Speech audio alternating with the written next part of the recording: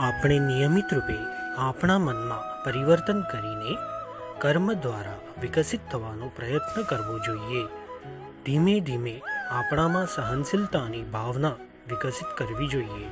વિશ્વાસના માધ્યમ દ્વારા પ્રેમ નમ્રતાથી પ્રકાશિત કરો.